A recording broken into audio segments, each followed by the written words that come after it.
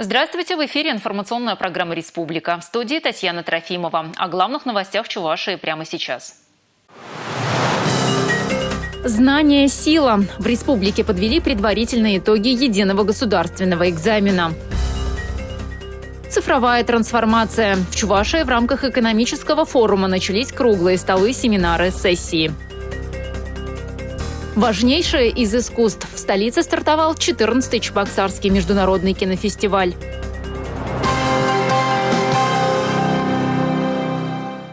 Чувашии подвели предварительные итоги единого госэкзамена. В этом году выпускники показали лучшие баллы по географии, химии и литературе. Впервые в республике есть 100-бальники по географии.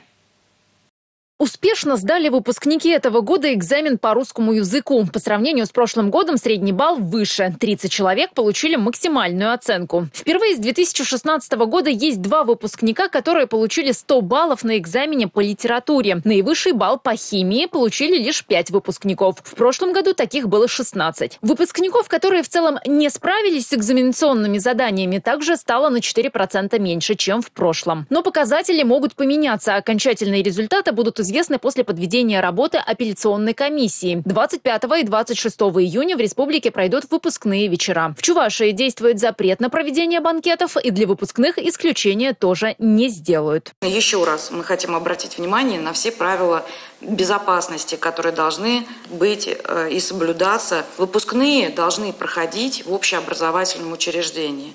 Если погода позволит, рассмотрите, пожалуйста, вариант проведения выпускных на улице. Это очень и хорошо, и можно сделать незабываемым выпускной для ребят и для родителей, и более безопасно. Кроме того, конечно, решение о допуске дополнительно родителей, гостей принимают, конечно, в итоге примет школа. И здесь необходимо минимизировать и подумать о том, что ребятам сдавать экзамены. С 1 июля по всей России в соответствии с законодательством меняются тарифы на коммунальные услуги. В нашем регионе средний индекс по-прежнему составляет 3,4%. В некоторых населенных пунктах повышение может составить до 5,4%. Сегодня на еженедельном совещании у главы Чувашии обсуждали вопрос повышения оплаты. В 285 муниципальных образованиях в среднем повышение будет не более 3,4%. В 11 плата будет чуть выше. Меньше чем на 2 рубля вырастет услуга по обращению с отходами. На 12 копеек вырастет тариф на электроэнергию для городских жителей. На 8 копеек больше будут платить сельчане и те, кто пользуется электроплитами. На 17 копеек вырастет цена на газ. Особая ситуация в Новочебоксарске. По распоряжению правительства России город отнесен к ценовой зоне теплоснабжения, что предусматривает утвержденную схему теплоснабжения и переход на долгосрочное регулирование цен на тепловую энергию. Повышение составит не более 5,2% и не повлечет превышение индекса изменения размера платы граждан за коммунальные услуги. В июне в муниципалитете утверждена единая схема теплоснабжения. Услуг будут предоставлять три организации, в их числе ПАО «Т+», с которым администрация города Спутника также подписала соглашение организация ПАО Т+, которая взяла на себя обязательства, э, будет выполнять требования, обозначенные в соглашении, это раз. Во-вторых, э, привлечет в город Новочебоксарск порядка трех миллиардов инвестиций. Безусловно, это позволит модернизировать все сети, э, что позволит нам сократить потери, более качественную услугу получать. В республике идет адресная поддержка тех, чьи расходы на коммуналку превышают 22% от дохода семьи. У нас, к слову, на сегодня получатели порядка 17 тысяч. Ну и сделан уже расчет.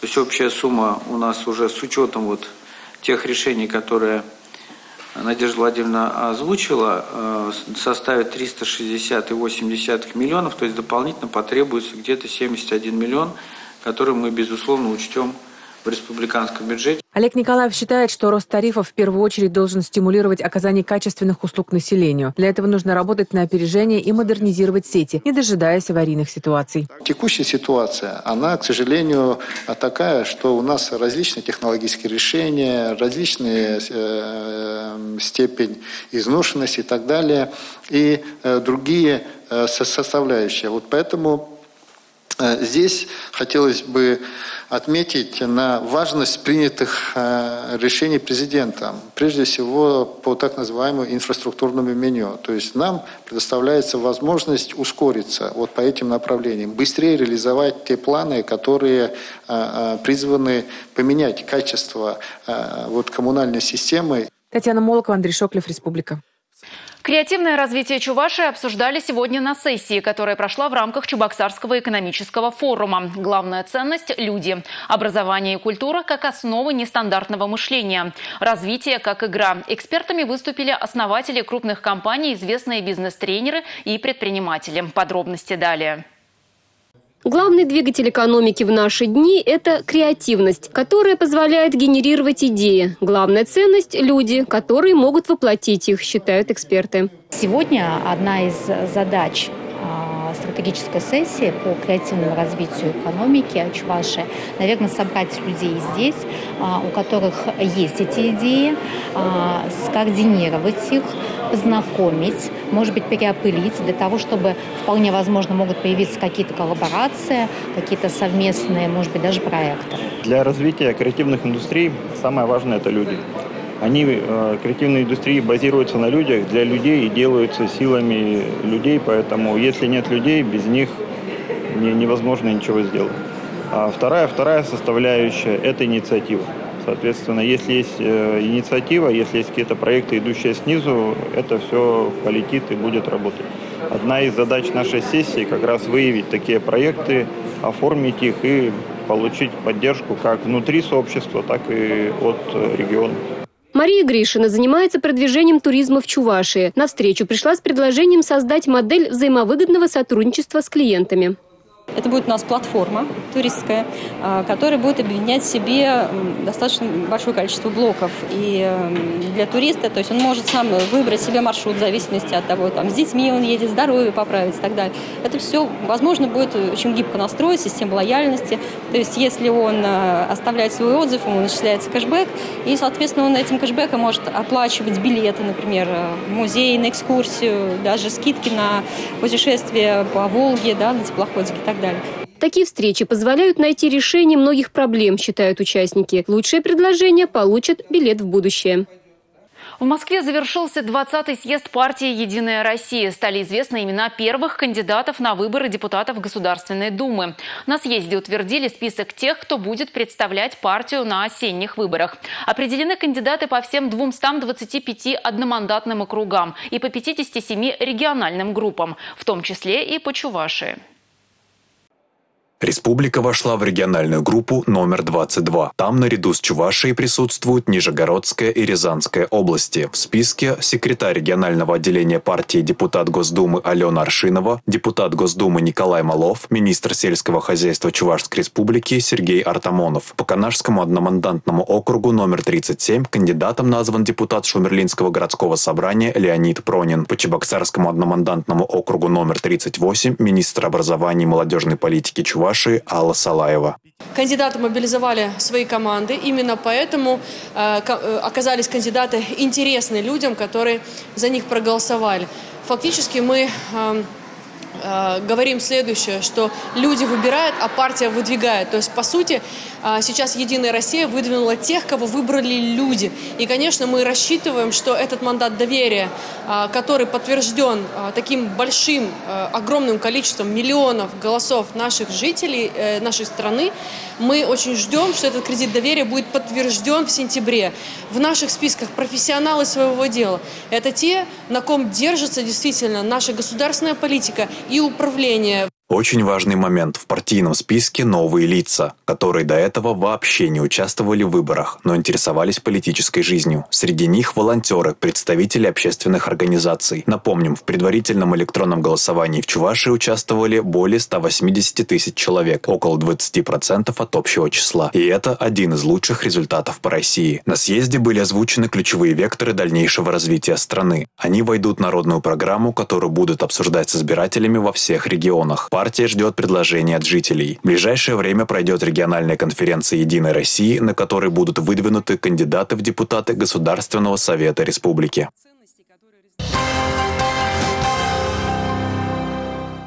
Какие вакцины доступны жителям Чувашии, чем они отличаются, где сделать прививку, как к ней подготовиться? Эти и другие вопросы обсудили в ходе очередного прямого эфира в одной из соцсетей. Эксперт по теме, заведующий Центром семейной вакцинации Нина Рассказова. Сейчас существует три типа вакцины – Спутник Ви, Эпивак Корона и Ковивак. Сегодня одним компонентом привито более 130 тысяч человек, и более 105 тысяч закончили вакцинацию. План выполнен на 22%.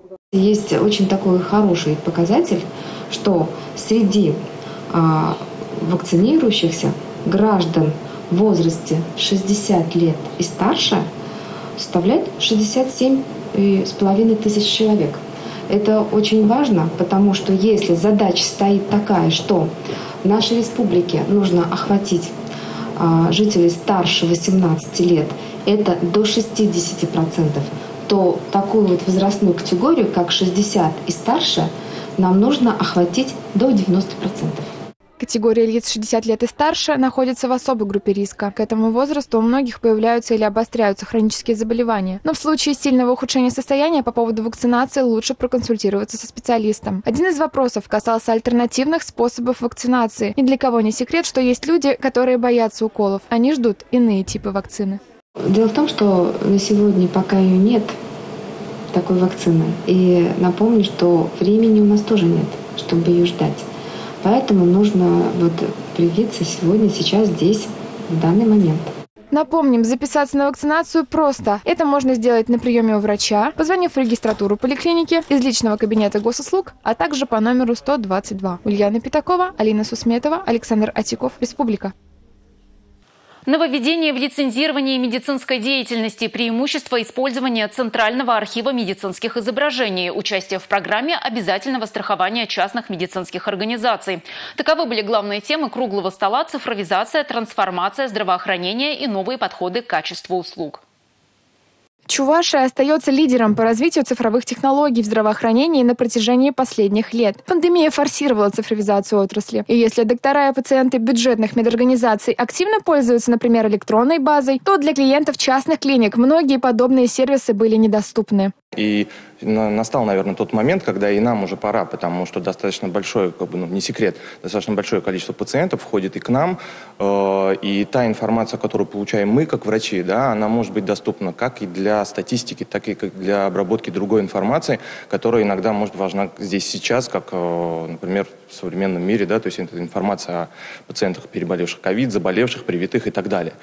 Использование Центрального архива медицинских изображений также является удобной опцией. Ее преимуществом является и то, что теперь пациентам не нужно искать, к примеру, рентгеновские снимки прошлых лет. Сейчас докторам они доступны благодаря архиву.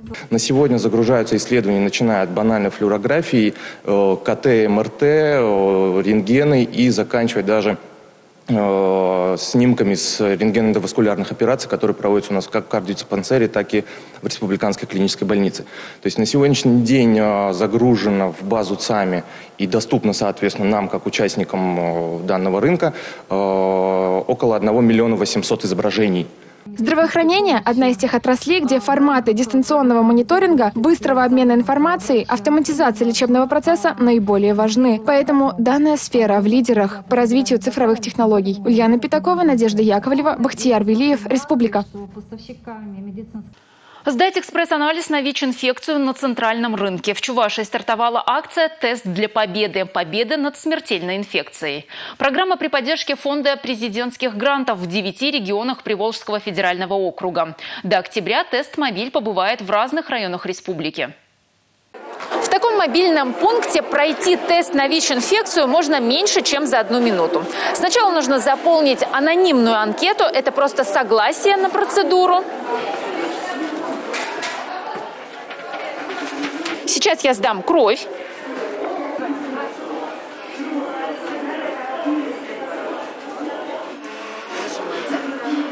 И уже через 15 минут можно будет узнать свой результат. У вас отрицательный тест на ВИЧ. Это вам. Спасибо. Миллион человек в России. Диагноз – вирусный иммунодефицит. Без терапии доживают до 40. Врачи утверждают, инфекция неизлечима. Но это не приговор. Чтобы продлить жизнь и ее качество, достаточно вовремя сдать анализ. Многие боятся, боятся узнать диагноз. Согласно отчету Минздрава России, за 2020 год сократилось тестирование на 14,3% населения. Это говорит только об одном, что не все живущие с ВИЧ знают свой диагноз. И по оценкам специалистов, специалистов около 20% ВИЧ-позитивных людей не знают о том, что они являются носителями ВИЧ. И это именно эти люди дают 50% новых случаев заражения. Безусловно, в этой ситуации мы должны говорить о том, что тест на ВИЧ он должен быть э, программе э, регулярного чекапа здоровья. То есть раз в 3-6 месяцев любой человек должен проходить тестирование на ВИЧ. Это то же самое, как бегать по утрам, как чистить зубы. Тест для победы. Совместный проект благотворительной организации из Татарстана «Новый век» и Чувашского республиканского центра по профилактике и борьбе со СПИДом. Задача компании – привлечь внимание к проблеме распространения ВИЧ-инфекции, чтобы люди привыкли проходить регулярное тестирование и заботились о своем здоровье. Я сегодня сдала тест на ВИЧ, и я считаю, что это совершенно не страшно, потому что нам уже рассказывали о том, что ВИЧ-инфекция имеет инкубационный период, который длится довольно-таки долго. Мы лучше узнать о своем ВИЧ-статусе как можно раньше, Желательно, конечно же, каждый год проверять это все, чтобы потом в дальнейшем контролировать, если вдруг что-то произошло не так. Чувашии по официальной статистике более 2600 человек живут с ВИЧ-инфекцией. 1950 бесплатно принимают терапию. Заболеваемость э, в Чувашии где-то в четыре с половиной раза ниже, чем по Российской Федерации и по Приволжскому федеральному округу. Конечно, самая главная задача, наверное, государственной стратегии противодействия распространению ВИЧ-инфекции в Российской Федерации – это охват скринингом. Любой ВИЧ-инфицированный пациент, он должен понимать, что, во-первых, он должен когда узнает о своем диагнозе, он в обязательном порядке должен предупреждать своего полового партнера и в обязательном порядке использовать средства индивидуальной защиты. 28 июня мобильный пункт будет работать в Бурмарском районе. Подробную информацию о его передвижениях можно найти на сайте регионального центра СПИД и в соцсетях проекта «Тест для победы». 150 лет на службе науки и просвещения. Старейшее учреждение культуры республики Национальная библиотека в этом году отмечает свой юбилей. Марафон праздничных событий стартовал сегодня. Когда в Чебоксарах еще не было ни театра, ни музея, 150 лет назад библиотека стала точкой притяжения, центром культурной жизни уездного города. Полтора века здесь хранят уникальный архив документов, книги. Современные технологии позволяют почти без потерь сберечь раритеты для потомков. Вот этот путь, который пройден за 150 лет, когда очень маленькая библиотека, которая была создана по инициативе людей неравнодушных, людей, которые состоялись и которые взяли миссию на себя э, продвижения э, э, в деле просвещения. Этот путь за 150 лет, конечно же, очень сильно изменился. И мы с вами сегодня на самом деле гордимся, что Национальная библиотека – это вот такая многофункциональная площадка, где можно получить разнообразную информацию, обеспечить совершенно различные коммуникации, ну и, конечно же, просто встретиться, пообщаться, как это всегда нам было привычно и самое главное, удобно и комфортно. Надежда Егорова пришла в библиотеку совсем юной, в зал выдачи. Сегодня ее 30-летний труд отмечен почетной грамотой Совета Федерации Федерального собрания. Время меняется, библиотека тоже меняется, не стоит на месте. Сейчас мы не только печатную литературу выдаем, мы э, работаем с электронными документами, мы обогащаем свою электронную национальную библиотеку Чувашской Республики интересными ресурсами. Э, поэтому наши студенты, школьники, они не только в реально в читальных залах сидят, они сидят и виртуально. Поэтому, наверное, пользователей становится больше. Сенатор Совета Федерации Николай Федоров отметил, что Национальную библиотеку можно назвать одной из лучших в стране, так как именно она воспитала целую плеяду известных писателей, поэтов, сделавших нашу республику узнаваемой. Последние годы здесь активно делятся с читателями правовой информацией. Работа публичного центра правовой информации всегда следует самым острым темам дня. Поэтому нельзя сказать, что один год похож на другой. Да, есть какие-то традиционные формы, мероприятия, группы, но в целом мы все время в движении, все время меняемся, пытаемся найти тот пульс острый, чтобы привлечь и новых читателей, и дать возможность высказаться, обсудить какие-то проблемы горячие. Президент Российской библиотечной ассоциации Михаил Афанасьев онлайн поздравил коллег с праздником, отметив большой вклад в историю в жизнь нескольких поколений читателей. Библиотека за 150 лет не просто проработала, пожила свою профессиональную жизнь. Библиотека пережила катаклизмы, библиотечные работники в этих трудных условиях, как условиях революции, в условиях гражданской войны, в условиях голода, в условиях военных смогли выстоять, смогли сохранить библиотеку, сделать так, чтобы она была в каждом случае нужна, полезна людям – Праздничный марафон продолжится 22-23 июня. В столице пройдет межрегиональный культурный форум «Библиотека в пространстве межкультурных коммуникаций». В очном и дистанционном форматах в нем примут участие около двух сотен библиотечных специалистов из 43 регионов России и Казахстана. Наталья Мальчикова, Бахтияр Велиев, Республика. Праздничной программе 150-летия библиотеки концерт ансамбля 4.33 под управлением Алексея Айги, с которым библиотеку связывает давняя дружба. Концерт состоится завтра в Театре юного зрителя. Сегодня в столице стартовал 14-й Чебоксарский международный кинофестиваль. Он посвящен этническому и региональному кино. Половина картин, представленных на конкурс, создана за пределами страны. Еще одна особенность – начался кинофестиваль показом спектакля. Kdo je Olga? Proč jste přijel do Prahy? Kavku nehledáte a nechcete se s nikým vyspat?